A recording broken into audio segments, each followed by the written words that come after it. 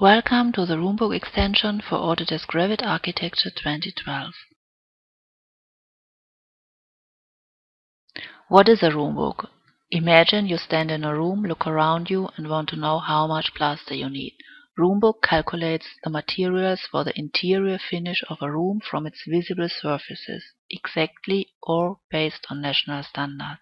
Roombook calculates the visible side surfaces of rooms like walls, columns, beams and reveals, floor surfaces, ceiling surfaces, the room circumference and the furnishing elements. Roombook detects the visible surfaces of a room and summarizes the applied finish materials. The user interface language of the Roombook can be changed at runtime. Just select one from the currently available languages English, German, Russian or Portuguese Brazil. The language of the Roombook can be changed at any time. Just select the command set language and select here, for example, German. Here it is. Commands and dialogues of the Roombook are now in German. Cool. Or do you want to see how it looks in Russian? Just select Russian and here it is. You see Roombook now has changed to Russian. The change does not only apply to the user interface but also to the export process. And you can also see the Roombook in Portuguese. Here it is. Portuguese Roombook. You see you don't even have to restart the application to see the changes. But for the purpose of this demo I think I go back to English. Changing the Roombook language is not only a cool feature, but it makes it really easy to work globally in distributed locations. The first step is to set the calculation standard. Roombook considers national calculation standards. Currently, we have the German VOB with a specific opening measurement system and the international standard which calculates the real quantities. The Roombook commands can be found here in the add-ins tab of Revit Architecture. We call the command calculation settings and see the currently set project standard. Here it is the German VOB, which defines that openings in walls and in floors and ceilings up to a certain size have to be ignored for calculation. Of course, the standard can be changed. I select now the international standard, which calculates the real quantities and has no specific rules applied. From now on, Roombook will calculate the quantities with the currently set project standard. Surface material types are sets of materials which are typically assigned to the surfaces of a specific room type like the interior finish of a bathroom, which most typically is different than that of a living room. This allows to apply standard materials to rooms for walls, floors and ceilings with just one click. We call the command Edit Surface Materials and see that Roombook comes with a set of predefined surface material definitions each having different material definitions for the surfaces of walls, floors, ceilings, and the room circumference. The predefined material definitions can easily be changed by just selecting a different material from the Revit materials and applying it. I want here to have the ceiling tiles instead of the wallpaper for the ceiling surfaces, and here it is. Next, you simply apply the surface material types to rooms. Call the command and we see that all rooms of the project are listed here.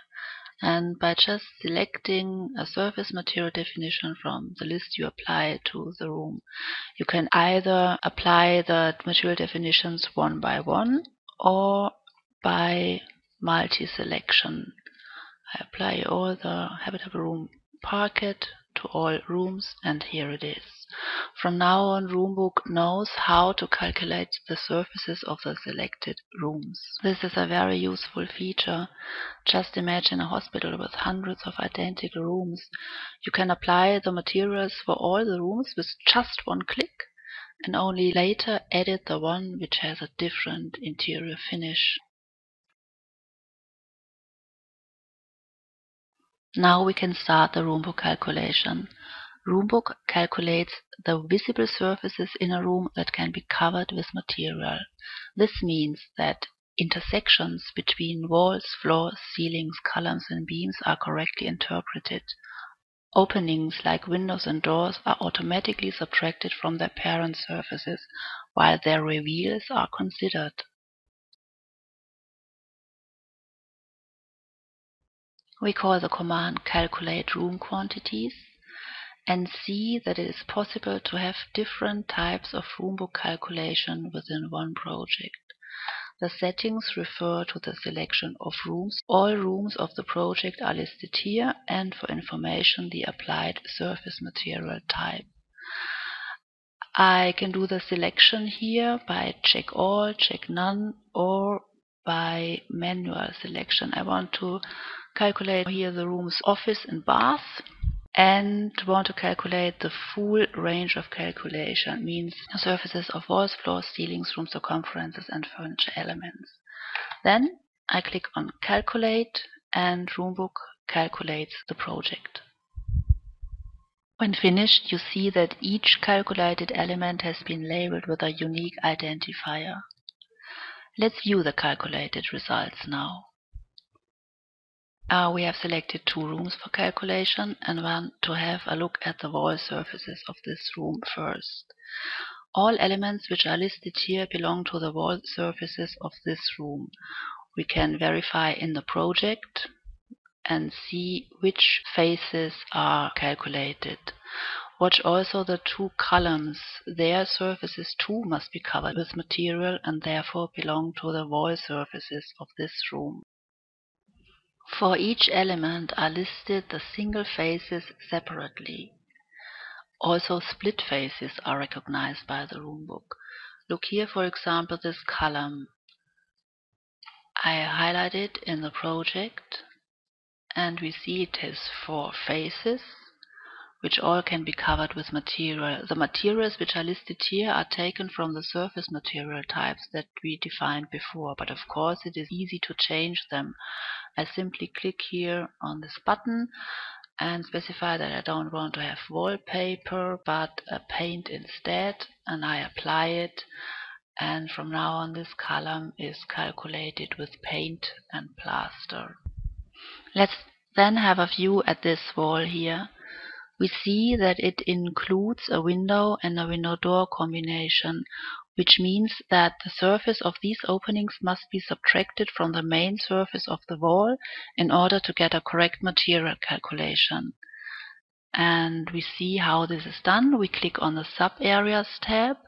Here is listed the main surface of the wall, and here are the openings which are automatically subtracted from the main surface. This means that the material requirement is adjusted accordingly. Let's view the floor surfaces now. We see that the floor is covered with parquet and when we look at the sub areas we see again those two columns. This is because their footing area is touching the floor and therefore is reducing the material requirement for the parquet. Then the ceiling surfaces. This here is the ceiling and it is covered with plaster and wallpaper. When we look at the sub areas, however, we see that there is again listed a column and a shaft opening. I'm going to show you why. Here, this is the upper face of the column which is touching the ceiling. And here is the shaft opening for the stair. Both are reducing the material requirement for the ceiling. Then we have the room circumferences. Watch that also for the circumferences we have a material applied like the skirtings or baseboards for the parquet. And then finally the furniture elements. These are all components which are attached to this room. Please note that apart from all those automatically detected elements, it is of course possible that you manually change and modify and add or delete elements. So you're free to adjust the Roombook calculation according to your needs. The final step is to export the calculation results the calculated roombook results can be exported to different formats, as Excel files that are perfectly formatted for architectural needs, as Revit schedules, as DWF files for further use in Autodesk Quantity Takeoff, or as simple CSV files.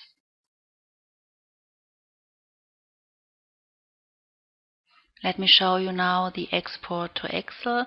When your Roombook calculations are done, you simply click the export button. Excel is opened and the sheets are dynamically filled with data. Each Roombook category is written on one sheet. When finished, you see here the wall surfaces. For each room are listed the elements which belong to the wall surfaces.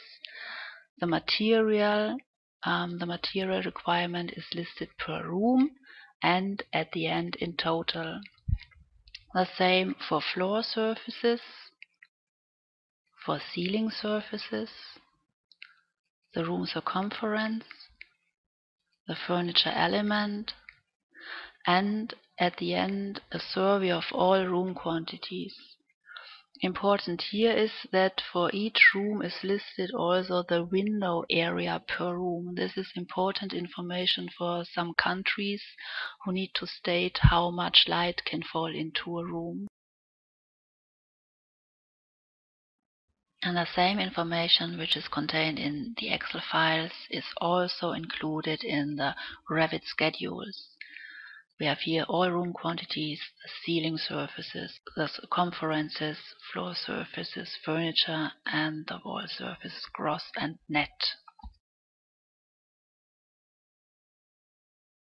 And last not least, when you export a DWF file from Revit, you can use the Roombook calculations in Autodesk Quantity Takeoff for further use.